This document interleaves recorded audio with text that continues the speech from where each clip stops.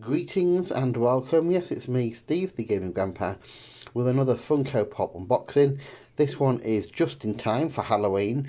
Uh, it's, it is Ned Flanders, who is actually the devil, Devil Flanders, from The Simpsons Treehouse of Horror, uh, number 1029, as you can clearly see there. Uh, there's the figure itself, the box. So it says Devil Flanders, not Ned Flanders. And obviously there are all the figures that you can get on the back as well. So there's quite a few there. Uh, the, the zombie bat looks pretty cool.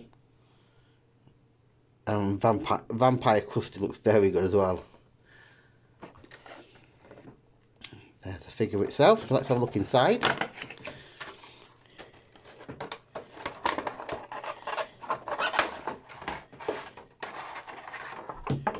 Okay, so put the box out of the way. So it is just a figure. Um, no stand, no bobblehead. Uh, so looking at the head first, so the head is is is very good.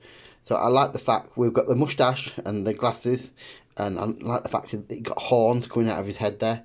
Looks really good, and he looks quite. Ned Flanders is always so happy. Looks very angry. Uh, going down to his body, you've got obviously his his, his red jacket I love his pitchfork. I love the fact that it's, it's bent as well, all crooked. And then you're going down to his lower half, and obviously his lower lower half is more of a, a an animal.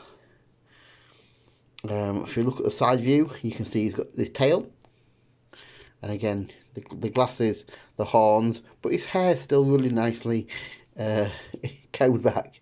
There's the rear, giving you a good view of the tail again, and the coat and there's a side view as well. So yeah, Devil Flanders, ready for Halloween. Thanks for watching guys, bye for now.